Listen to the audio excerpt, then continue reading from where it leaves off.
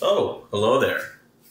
Today we're going to be talking about JavaScript data type conversions. There are two ways to do it, implicit and explicit.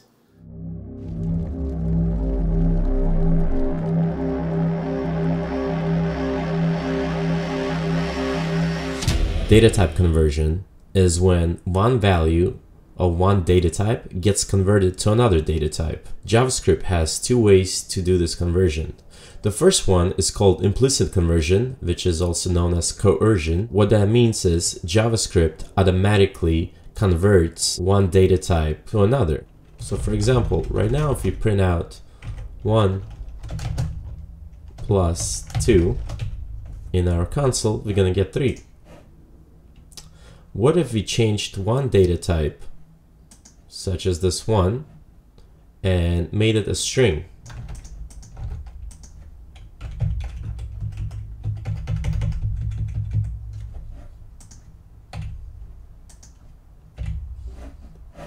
Clear this.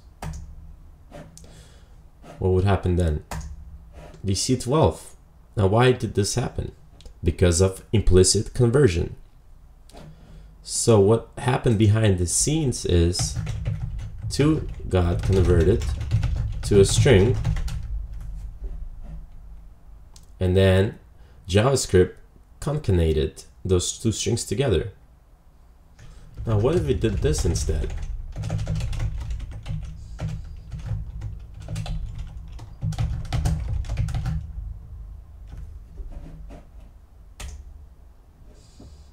We got two.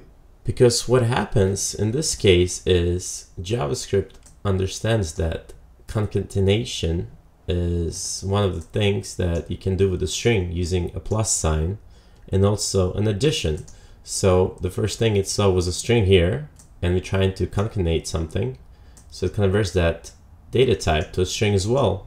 In this case, however, multiplication is only done on numbers. So what it did is convert this one to a number. That is implicit conversion. What is an example of explicit conversion, also known as typecasting? Well, that's when a programmer manually converts one data type to another. For example, let's say we have a string 2. I'll just comment this out as well. As you can see, this is a string. But what we can do is also convert it manually to a number using the number and in parentheses put a string in there and that will be a number. We can also convert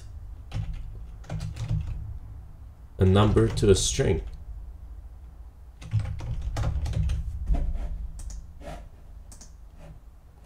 Oh, misspelled it. Let's try again. See, this will be a number, this will be a string data type. And that's the difference between implicit conversion and explicit conversion.